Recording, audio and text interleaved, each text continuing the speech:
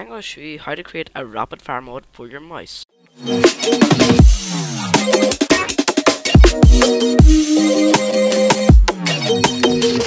Okay, so first of all, I want to start off by saying it is not my fault if you use this online in Call of Duty or CSGO or whatever you use and you get banned.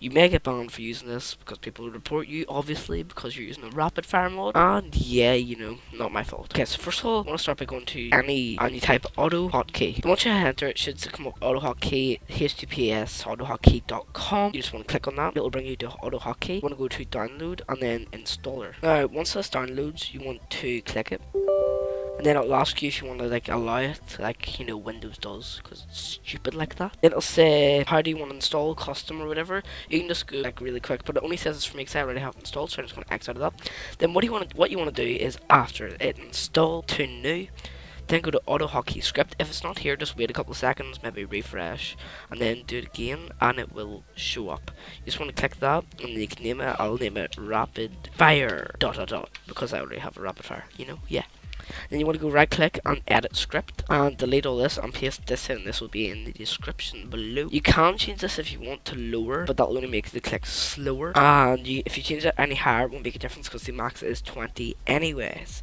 I will delete this one because I already have one over here called Rapid Fire. Now, what this F9 suspend button loop thing is, if you press F9, it activates it. You don't have to hold it down, it just activates it. You can change this by typing in a different you know hotkey if you really feel like it and then saving it. But if you press F9 it will do it and yeah. So it's not on right now. I will go to this uh, cookie clicker for an example and I will press F9 now I can't do this. Like just by clicking it I'll go up or I can just hold it down. So yeah it's very productive.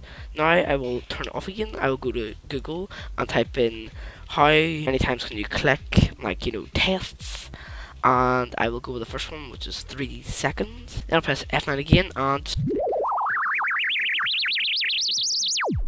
yeah exactly. That 98 was me and the global high score right now is 112 because someone else is obviously using a rapid fire mod and they must be using a different one but this one is okay you know not bad it's pretty you know good.